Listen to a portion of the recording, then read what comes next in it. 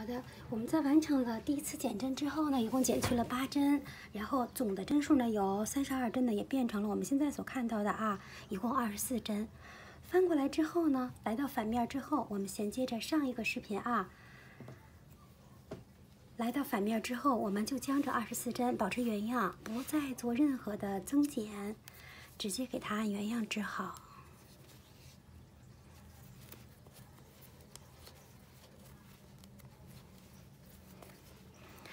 也就是这个帽顶的部分呢，它经过前期的呃减针之后啊，基本上都是在正面的时候减了针，然后到反面呢是没有减针的。也就是我们会把它设定成为是每两行减一次针啊，每次减八针，明白了吧？并且按这个规律啊，我们要有几次的重复，所以。大家按照这个规律呢，要减几次，然后会有其中的一次呢，在反面也有过减针啊，但是这只是最后一次，其他这几次减针前几次啊，都是按照之前我们设定好的，每两行减一次，每次减八针，而且每次都是在织正针的这一行。比如现在是迎来了它的第二次减针啊，第二次减针虽然啊，它也是按照。每份儿的，就是原来的这个大份儿里边啊，每份儿里边减两针，减两针，减两针。小份儿里边呢，依然是减一针，这边减一针的，明白了吗？但是啊，尽管它也是符合这个要求的，但是它同时呢，也符合了另外一个要求，就是极其有规律的减针方法。怎样减的呢？第一针织，第二、第三一起织；第一针织，第二、第三一起织；第一针织，第二、第三一起织；第一针织，第二、第三一起织，等等等等等等等等，明白了吗？也就是它按照一个将所有针数分为每三针一组，然后每组内啊总是三针的这种情况呢，再重复。第一针织，第二针、第三针并在一起织，明白了吗？好，我们现在就按照之前说好的啊，第一针织，第二、第三一起织；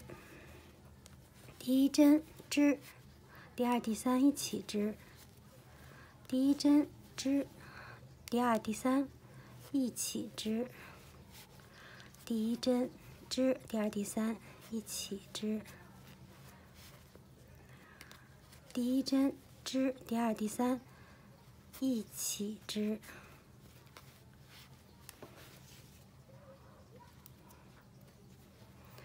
第一针织，第二、第三一起织；第一针织，第二、第三一起织；第一针织，第二、第三一起织。好了，经过了刚刚的这一组减针啊，你的所有针数也由原来的二十四针也被减去了八针啊，也就是现在你的总针数也已经来到了十六针。不信你来数一下，一定是十六针啊。呃，十六针的反面呢，也是不做任何的调整的，我们直接给它按照原样，继续的给它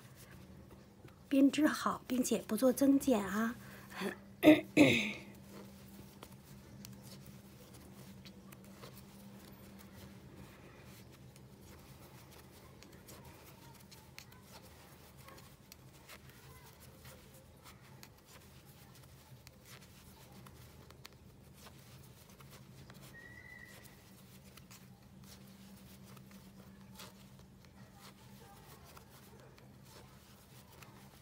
再次给它翻过来，来到正面啊，还是按照我们刚刚给大家讲过的这个规律来剪的针啊。第一针织，第二、第三一起织；第一针织，第二、第三一起织；第一针织，第二、第三一起织，完全还是按照之前说好的这个规律来操作的。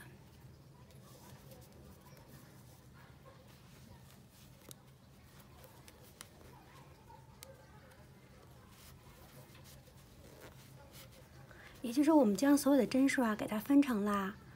每一份儿是三针啊，分成了若干份儿。你看，第一针织，第二、第三一起织，然后又是这样的啊，第一针织，第二、第三一起织，第一针织，第二、第三一起织，啊，最后一针织，好了，然后再次给它翻过来啊，来到反面，也就是刚刚的我们的这组减针啊，实际上你数一下，你才减了五针，我之前讲过很多次了啊，我们每两行要给它减去八针，现在才减五针呀，所以这次也迎来了我们首次在反面减针啊，sorry。我之前总是强调强调啊，我们在反面没有减针，但唯独这次是例外，所以它的减针方法啊，跟之前也一样的，第一针织，第二、第三一起织。你看，第一针织啊，然后把后两针第二、第三一起织。这是唯一的一次啊，在反面也有的减针啊，在整个帽子的减针过程当中，从来没有出现过，只是这一次。剪完之后呢，你看最后它剩下了两针啊，很尴尬，对不对？没关系啊，我们将这两针呢都给它一起织完。好了，织完之后呢，大家数一下啊，也就是你刚刚的这些啊减针的方法，使得它啊做完最后一次减针之后剩下的这些针数，你看，一共还剩下了八针了。现在呢，我们就需要做一个重新的调整，怎样调整呢？大家现在这样啊，把它转到这面来，然后从这个长线的根部到这一头啊，我们一共给它留出多长来呢？要留出三十五厘米。然后我量一下啊，看有没有三十五。每次都强调三十五，但是我怎么感觉每次都留的比这个要短呢？哦，没有，三十厘米就足够了啊，同学们，三十厘米啊，啊，留出三十厘米长的。一根线，然后在这儿直接给它剪断。剪断之后啊，要拿出我们的缝针，塑料缝针啊。然后我们会有一个新的动作，哎呀，怎样来操作的呢？拿塑料缝针直接把这个刚刚剪断的这根线呢给它认上。好了，认好了之后呢，我们一定要注意啊。一定要注意，就是你的双线的这一部分和单线的这部分啊，要一样长。你看，从这儿到这儿的距离和从这儿到这儿的距离啊，几乎是一样的。然后一定要攥紧了这儿啊，别把它已经弄好成一样的，然后你往上拉这个针，这个线就又会跑了，明白了吧？所以一定要注意这一点啊。然后我们将左边的织针上的所有针套啊，转移到右边的缝针上来。好了，转移完之后呢，跟我们这么长时间的这个 这个六点五的环针呢，就暂时不用它了啊，先放一边。这边一定要注意啊，我们把它拉过来的时候呢，一定要出来尾巴之后，我们一定要攥着尾巴这个线的地方，不要再攥针了啊，然后给它拉紧，找到另外一侧啊。这也是我为什么让大家不要拽针的一个重要原因。你要拽针的话，一下把这根线头也拽短，甚至拽跑了，你就没有办法系了。明白了吧？所以啊，必须按照我们要求的做才可以啊。用力的在这位置啊，给它打一个结，打一个结之后再打一个结，看系了两下，然后给大家看一下啊，就把这个缝针呢和线头呢放在里边，不用理会就可以了啊。然后我们要给大家看一个什么呢？